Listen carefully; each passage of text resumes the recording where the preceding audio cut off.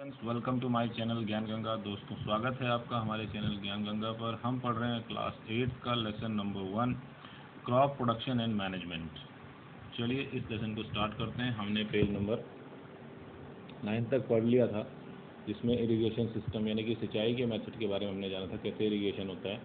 अब हम page number ten पर आएँगे, जहाँ पर हमें दिया गया है प्रोटेक्शन फ्रॉम वीड्स तो आपको जानना है कि वीड्स क्या होते हैं। वीड्स क्या होते हैं दोस्तों? वीड्स क्या होते हैं स्टूडेंट्स वो प्लांट्स होते हैं जो अनवांटेड होते हैं।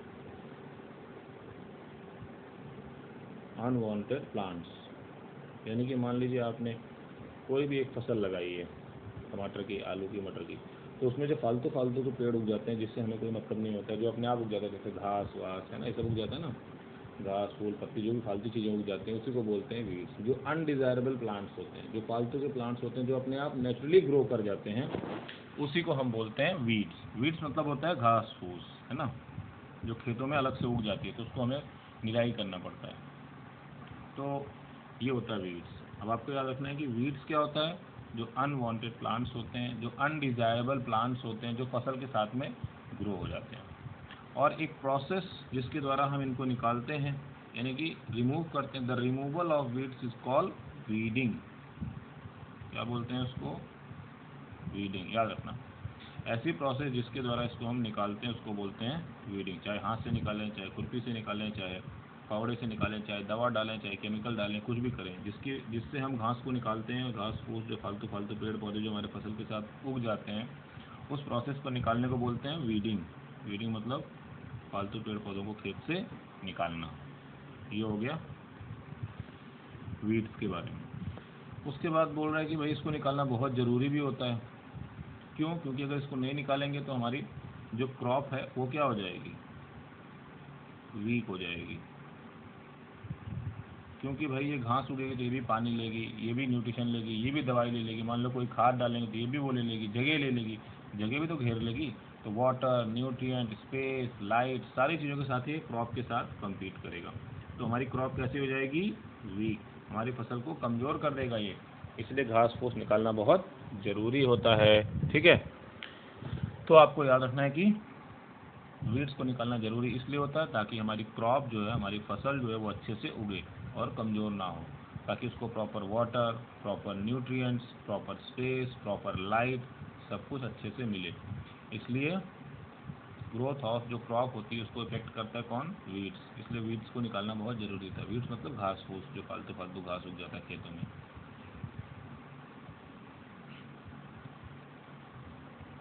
और कुछ वीड्स ऐसे तो होते हैं जो कैसे होते हैं? बहुत ही जहरीले होते हैं पॉइजनस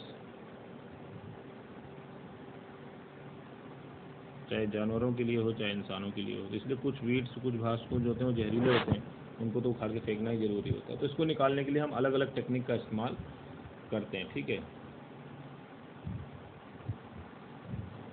तो एक टेक्निक होती है कि मेरी फ़सल लगाने से पहले ही टीलिंग कर दो। मतलब जो खेत है उसको अच्छे से उसकी टीलिंग कर दो, उसकी जुताई अच्छे से कर दो, खुदाई, गुड़ाई अच्छे से कर दो, उसमें से घास फूस निकाल के फेंक दो। तो वो घास सूख जाती है। एक हो गया टीलिंग करके, ठीक है? या तो फिर वो धीरे धीरे वहीं बड़े बड़े सूख के, सड़ के घास जो मिट्टी में मिल जाएगा। तो इस तरह से हम देखते हैं कि वीड्स को हम टिलिंग करके भी उसको जान से मार सकते हैं और उसको हम ख़त्म कर सकते हैं, सुखा सकते हैं और फिर वो धीरे धीरे मिट्टी में मिल जाएगा। ठीक है? और हम फ़िज़िकल अपने हाथ से भी निकालते हैं, उसको हम काट भी सकते हैं, जड़ से उखाड़ भी सकते हैं। खुरपी का यूज़ करते हैं। मैंने बताया ना, देखिए यहाँ किताब में लिखा हुआ खुरपी का यूज़ करते हैं। सीड ड्रिल का भी यूज़ कर सकते हैं हम वीट को अपरूट करने के लिए। अपरूट करना मतलब उखाड़ना, ठीक है? अपरूट भी कर सकते हैं हम इसको। ठीक है? तो अपरूट कर देते हैं वीड्स को हम। उखाड़ देते हैं वीड्स को हम, हाथ से उखाड़ सकते हैं, खुरपी से उखाड़ सकते हैं। इन सारी चीज़ों से हम उखाड़ सकते हैं, ठीक है? तो ये आपको याद रखना है। एक तो ये हो गया उसके बाद ये हो रहा है कि भाई हम कुछ केमिकल्स का भी यूज़ कर सकते हैं, जिससे कि घास फूस पूरी ख़त्म हो जाती है। उस अगर केमिकल को खेत में डाल दें तो घास नहीं उगती, घास पूरी सूख जाती है। उस केमिकल को बोलते हैं वीडीसाइड क्या बोलते हैं? वीडीसाइड वीडीसाइड वो केमिकल होता है जो कि घास फूस को जला देता है। जैसे कि एक वीडीसाइड का एग्जांपल है two four D two four D क्या एक केमिकल है जो खेत में डालने से पूरी घास खत्म हो जाती है। इसको स्प्रे करना पड़ता है। ठीक है? इसको खेत में स्प्रे करना पड़ता है, जिससे सारे वीड्स खत्म हो जाते हैं, जिससे सारे घास फूस खत्म हो जाते हैं। और ये क्रॉप को कोई नुकसान नहीं पहुँचाता है। तो टू क्या है? एक वीडीसाइड है, एक केमिकल है ये। एक केमिकल है जो क्रॉप्स को नुकसान नहीं पहुँचाता है, लेकिन जो घास फूस होते हैं, उनको मार देता है। और कैसे इसका स्प्रे करेंगे वीडीसाइड तो केमिकल है, उसको क्या करना पड़ता है? वाटर में डाइल्यूट करना पड़ता है। मतलब ढेर सारे पानी में थोड़ा सा वीडीसाइड जो होता है, उसको हम घोल देते हैं, फिर उसका स्प्रे कर देते हैं, ठीक है? तो आप देख सकते हैं स्प्रेइंग वीडीसाइड देखिए फिगर 1.6 में दिखाया गया एक आदमी फार्मर है जो स्प्रे कर रहा है। तो वो वीडीसाइड का स्प्रे कर रहा है। इससे क्या हो रहा है, जो हमारी फ़सल है, वो तो सुरक्षित रहेगी, लेकिन जो फालतू के घास फूस है, वो सारे सूख जाएँगे, जल जाएँगे या मर जाएगा, है ना?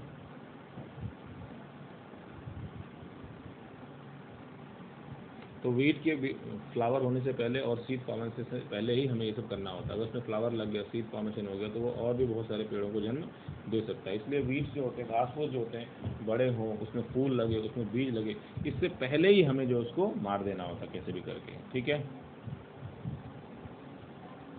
और ये केमिकल्स का यूज़ करते हैं वीडिसाइड का तो हमें बहुत ध्यान से यूज़ करना पड़ता है, क्योंकि केमिकल होता है तो हमारे मुँह में, नाक में जा सकता है, हमें भी नुकसान पहुँचा सकता है। इसलिए मुँह पे कपड़ा वगैरह बांधना चाहिए। देखिए, इस आदमी ने मुँह पे कपड़ा बांधा हुआ आप देखेंगे तो है ना? ताकि वो केमिकल हमारे मुँह में, नाक में ना जाए और हमें नुकसान ना पहुँचाए। तो ये हो गया स्टूडेंट्स प्रोटेक्शन फ्रॉम वीड्स मतलब अपने फ़सल को वीड्स से बचाना, अपने फ़सल को, अपने क्रॉप को घास फूस से बचाना, ठीक है? तो हो गया प्रोटेक्शन फ्रॉम वीड्स इसके बाद और देखिए कुछ कुछ और टॉपिक दिए हुए हैं। इसके बाद जो हमारा नेक्स्ट टॉपिक है, बहुत ही इंपॉर्टेंट है, वो भी वो आ रहा है हार्वेस्टिंग। भाई हार्वेस्टिंग नहीं करेंगे तो फ़सल तो खेत में सड़ जाएगी। हार्वेस्टिंग मतलब होता है कि जब फ़सल तैयार हो जाए तो उसको काट के घर में ले आना। देखिए, बहुत अच्छी सी डेफिनेशन दी हुई है। The cutting of crop after it is mature is called harvesting है ना? हार्वेस्टिंग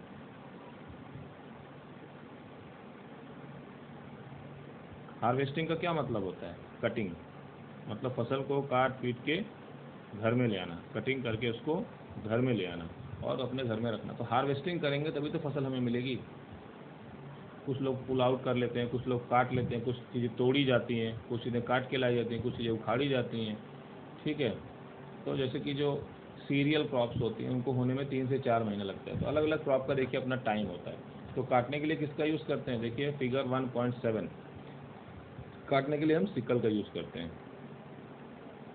इसको हम लोग की भाषा में हंसिया भी बोलते हैं।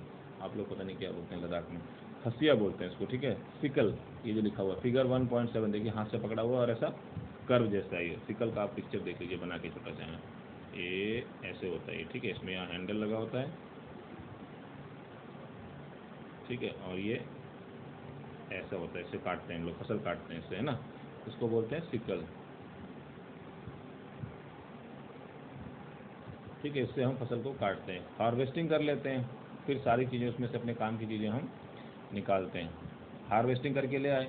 मान लीजिए गेहूँ की फ़सल है तो उसमें से गेहूँ के दाने अलग करने पड़ेंगे, है ना? तो इसको बोलते हैं थ्रेशिंग जब मान लीजिए गेहूँ का पेड़ है, मान लीजिए ये गेहूँ का पेड़ है तो इसमें बहुत सारे ऐसे ऐसे लगे होंगे, इसमें बहुत सारे गेहूँ के दाने लगे होंगे, ठीक है? इसमें बहुत सारे गेहूँ के दाने लगे।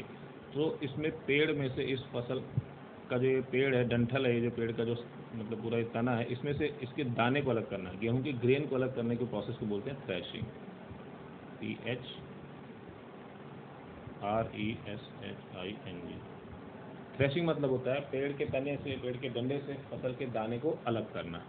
ठीक है? देखिए यहाँ पे लिखा हुआ है the grain seed need to be separated from the chaff मतलब कि जो पेड़ का डंठल होता है, उसमें से दाने को अलग करना, इसी को बोलते हैं थ्रेशिंग इसके लिए बहुत बड़ी बड़ी मशीनें भी आती है थ्रेशर भी आता है, और बड़ी सी मशीन उसकी उसको क्या बोलते हैं? कंबाइन क्या बोलते हैं उसको? कंबाइन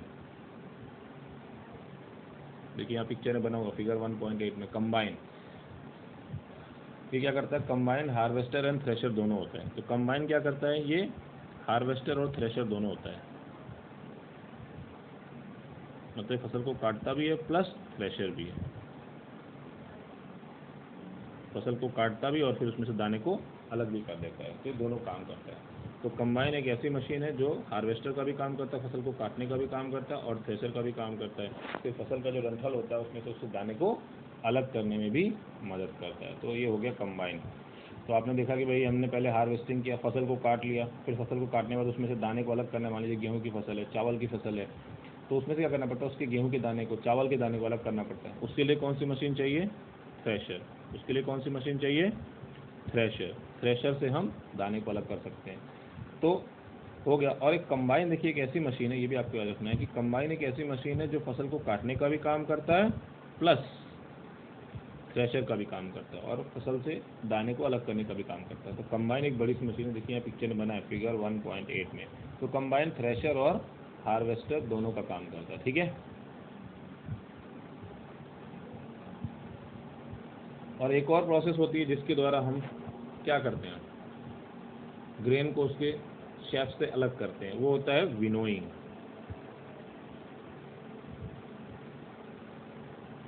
तो विनोइंग वो प्रोसेस होती है जिसमें हम क्या करते हैं? भूसे से अलग करते हैं उसके दाने को। विनोइंग मशीन देखिए फिगर 1.9 में बना हुआ है। इसमें भी वही करते हैं।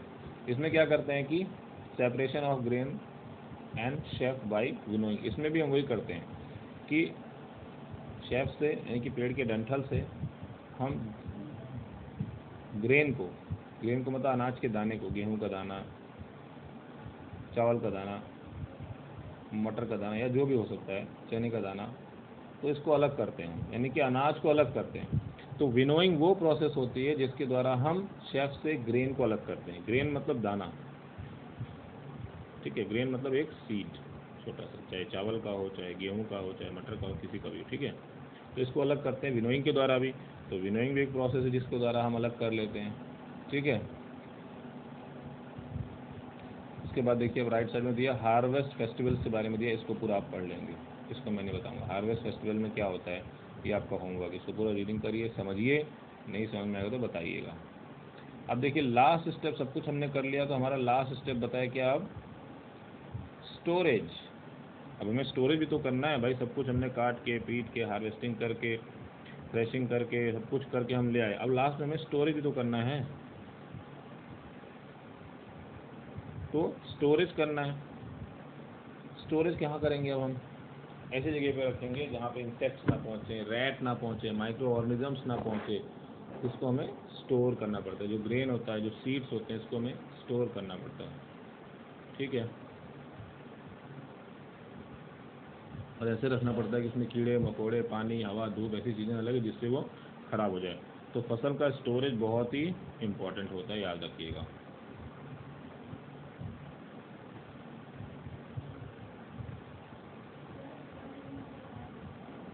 तो हम इसको क्या करते हैं? स्टोर करते हैं। किसमें स्टोर करते हैं बताइए आप? बोरी में, है ना? तो उसको बोलते हैं जूट बैग्स जो ब्राउन ब्राउन कलर की बोरियाँ होती हैं आपने देखा होगा आलू की बोरी कैसी होती है? जूट बैग्स या मेटेलिक बिन्स होते हैं बड़े बड़े बड़े बड़े टीन जैसे होते हैं ठीक है? तो जूट बैग में करते हैं स्टोर और मेटेलिक बिन्स में करते हैं हम। बड़े बड़े डब्बे होते हैं कनस्तर जैसे। डब्बे बड़े बड़े डब्बों में कर सकते हैं बड़े बड़े है ना? और जो बहुत बड़े लंबर लम, मतलब बहुत बड़े बड़े जो स्टोरेज होते हैं वो किसमें होता है? जो बहुत बड़े बड़े स्टोरेज वाले होते हैं, देखिए वो यहाँ पे बना हुआ है। ये ये देखिए। पिक्चर यहाँ देखिए बनी सी बनी है। पेज नंबर ट्वेल्व पर ऊपर टॉप पे देखिए। Figure one point ten A silos for storage of grain देखिए, ये बहुत बड़े लेवल का होता है। तो सिलोज सिलोज में स्टोर करते हैं हम। ठीक है? सिलोज में स्टोर करते हैं जिससे कि एकदम सुरक्षित रहता है। और ये क्या होता है? बहुत बड़े स्केल पे लार्ज स्केल तो सिलोज में किसमें हम स्टोर कर सकते हैं? लार्ज स्केल पर, ठीक है, ये आपको रखना है कि जो सिलोज जो होते हैं, ये बड़े बड़े बहुत बड़े बड़े डब्बे जैसे होते हैं, देख सकते हैं पिक्चर में आप तो इसमें हम स्टोर करते हैं, ठीक है? लार्ज स्केल बड़े स्केल पे हम सिलोज या ग्रेनरीज इसका नाम होता है G R A N A R I E S तो स्टोरेज कहाँ करते हैं? सिलोज में ग्रेनरीज में जूट बैग्स में मेटालिक बिन्स में, इन सभी में हम स्टोर करके रखते हैं, जिसमें हवा, धूप, पानी, कीड़े, मकोड़े, चूहे, बिल्ली, है ना, ये सब चीज़ें उसको ख़राब नहीं कर सकते हैं। और ड्राइड नीम लीव्स ये भी याद रखिएगा। नीम लीव्स नीम का पेड़ होता है हम लोग के यहाँ, पता नहीं आप लोग के साइड साइड नहीं होता है। नीम का पेड़ हम लोग के यहाँ ज़्यादा होता है, आपके तक नहीं होता है, लद्दाख में। तो नीम का जो पेड़ होता है नीम के पेड़ की पत्तियों को सुखा के, उसको भी हम घर में मतलब अपना जो भी गेहूँ, चावल उसके बीच में डाल देते हैं, उससे भी कीड़े मकोड़े नहीं लगते हैं। नीम की पत्ती जो होती है ड्राइड नीम लीव्स जो होती हैं, उनको हम उसी में डाल देते हैं अनाज में। तो उससे क्या होता है, कीड़े मकोड़े नहीं लगते हैं।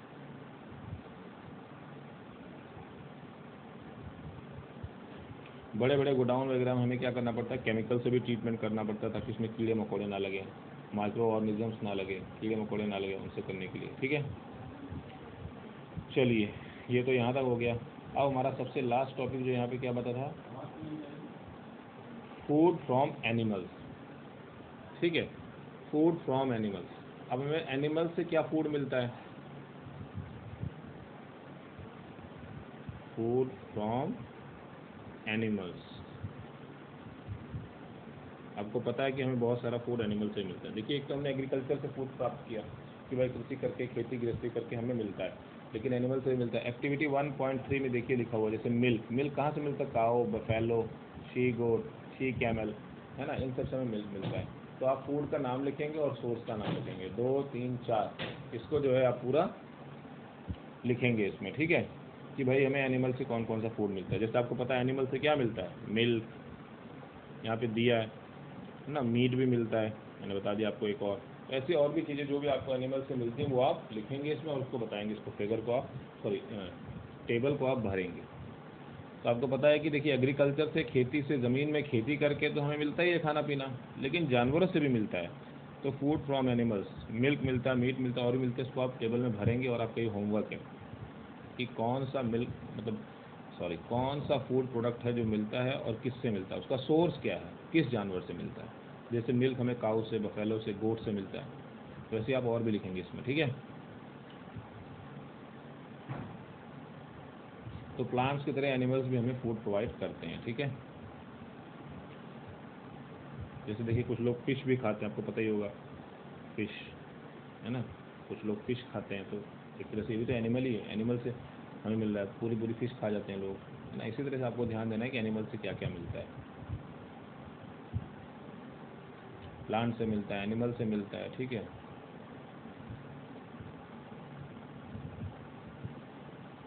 अब मान लीजिए एनिमल से कोई फ़ूड लेना तो एनिमल्स का भी तो बहुत ध्यान रखना पड़ेगा, उन्हें भी घर में रखना पड़ेगा, उनको पालना पड़ेगा, खिलाना पड़ेगा, या हम नहीं रखते तो कोई ना कोई ऐसा काम करेगा जहाँ उनको रखेगा। और जब हम बहुत बड़े स्केल पे जानवरों को पालते हैं, खिलाते हैं, पिलाते हैं, उनसे खाने पीने की चीज़ें ऑप्टेन करते हैं तो उसको बोलते हैं हम क्या? एनिमल हस्बेंड्री क्या बोलते हैं उसको? एनिमल हस्बेंड्री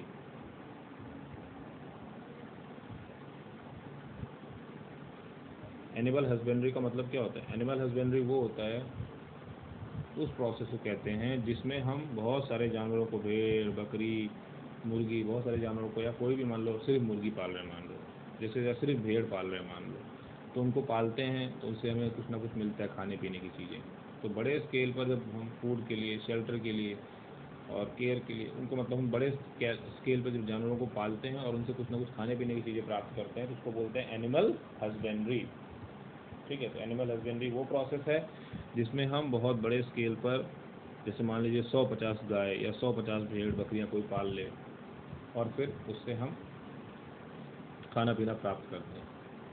तो उसी को बोलते हैं एनिमल हस्बेंड्री इनकी प्रॉपर केयर करेंगे, खिलाएँगे, पिलाएँगे, इनको रखेंगे। तो जानवरों को बड़े स्केल पे पालना या बड़े से फार्म बड़े से फार्म में पालना, इसी को बोलते हैं एनिमल हस्बेंड्री जहाँ से फिर हमें खाने पीने की चीज़ें मिले। एनिमल हस्बेंड्री क्या, देखिए साफ़ साफ़ लिखा है यहाँ पे। लास्ट में। इसी के साथ हमारा चैप्टर ख़त्म हो जाता है चैप्टर नंबर वन अब इसकी पूरी एक्सरसाइज आपको करनी है।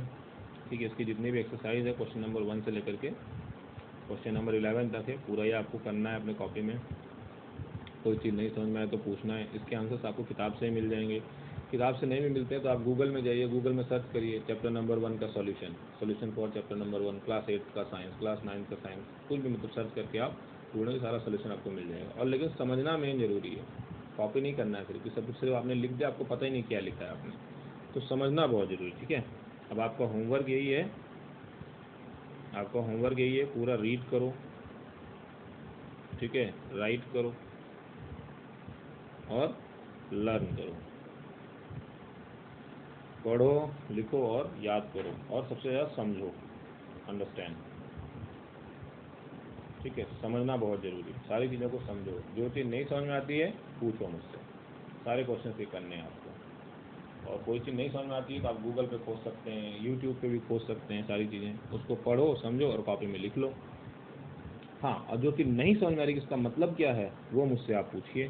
जो भी नहीं समझ में आ रहा, कुछ भी आपको अगर नहीं समझ में आया तो आप मुझसे पूछिए। तो इस तरह से हमने क्लास एट का चैप्टर नंबर वन भी ख़त्म कर दिया। तो स्टूडेंट्स मैंने सिक्स सेवन्थ एट तीनों का फ़र्स्ट चैप्टर ख़त्म कर दिया है। अब आप लोगों को एक भी दिन का समय दे रहा हूँ, अच्छे से इसको एक बार, दो बार रीडिंग कर लो, पढ़ लो, समझ लो, जो नहीं समझ में आ रहा है पूछ लो, पूरा काम कर लो, फिर उसका फ़ोटो खींच के मुझे भेजना कि हाँ हमने काम कर लिया है। फ़ोटो खींच के भेजना मुझे, आपने कितने क्वेश्चन आंसर्स किए? कोई क्वेश्चन नहीं आ रहा है तो पूछो। उसका आंसर किताब में ढूंढो, सब मिलेगा। नेट पे ढूंढो मोबाइल पे ढूंढो कंप्यूटर पे ढूंढो, ढूंढ के खुद से लिखो। और लेकिन समझना ज़रूरी है, ये नहीं कि लिख दिया और पता ही नहीं है। समझ लिया तो ही लिखना, नहीं समझ में आ रहा तो मुझे बताना। मैं आपको बताऊँगा क्या है क्या प्रॉब्लम क्या नहीं समझ में आ रहा है ठीक है? तो इस तरह हमारा चैप्टर नंबर वन कंप्लीट हो गया और मिलेंगे फिर हम नेक्स्ट वीडियो में नेक्स्ट चैप्टर के साथ। लेकिन अभी मैं आपको टाइम दे रहा हूँ एक दो दिन का। आप इसको पढ़िए समझिए लिखिए याद करिए। मैं दो दिन का समय दे रहा हूँ याद भी करना फिर मैं आपसे पूछूँगा अभी ठीक है? तो इस तरह से हम करेंगे। कोई भी डाउट हो तो आप मुझे पूछिएगा। कोई भी चीज़ नहीं समझ में आए तो आप मुझे पूछना। ये पूरा कंप्लीट करो। और हाँ लास्ट में ये दिया होता है चैप्टर के लास्ट में देखिए दिया होता है। वॉट यू हैव लर्न इसको ज़रूर पढ़ना। इसमें बहुत सारे क्वेश्चन के आंसर्स मिल जाते हैं। ये सारे पॉइंट्स जो होते हैं, आपको याद होने चाहिए। ये सारे पॉइंट्स आपको याद रहेंगे तो इससे ये फ़ायदा होगा कि कहीं भी एग्ज़ाम में कोई भी क्वेश्चन अगर घुमा फिरा के आपसे पूछा जाएगा तो आप कर लेंगे। इसी में से आपको इन ब्लैंक्स के आंसर मिल जाएँगे मैच द कॉलम के मिल जाएँगे true the true and false के मिल जाएँगे, या ये जो पजल वाला होता है पजल बॉक्स इसका मिल जाएगा। सबका आंसर आपको किताब में मिलेगा। 90 परसेंट आपको 100 परसेंट वैसे किताब में मिल जाएगा, लेकिन आपको ढूंढना आना चाहिए बस। कोई चीज़ नहीं मिलती है तो गूगल पे सर्च करो यूट्यूब पे सर्च करो, फिर भी नहीं समझ में आ रहा तो मुझसे पूछो, ठीक है? तो मैं आपको बता दूँगा। चलिए स्टूडेंट्स ये चैप्टर यहीं ख़त्म करते हैं, मिलेंगे नेक्स्ट चैप्टर में, धन्यवाद।